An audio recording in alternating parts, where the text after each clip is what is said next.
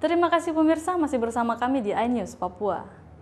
Pemerintah Kota Jayapura canangkan bulan kemerdekaan dan rangkaian kegiatan HUT ke-72 kemerdekaan Republik Indonesia di lapangan PTC Entrop Sabtu pagi.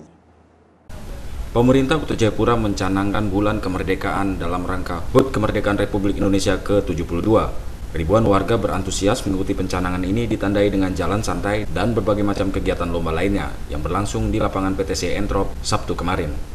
Wali Kota Jayapura Ben Hur Manu dalam sambutannya menjelaskan bahwa dalam pencanangan kemerdekaan Republik Indonesia ke-72, Kota Jayapura mengajak seluruh masyarakat untuk selalu menjaga kebersihan Kota Jayapura. Hari ini saya akan mencanangkan bulan kemerdekaan tingkat Kota Jayapura. Dan ada lomba-lomba yang kita akan ikuti bersama. Kepada seluruh masyarakat kota Jayapura, ini rumah kita, ini istana kita.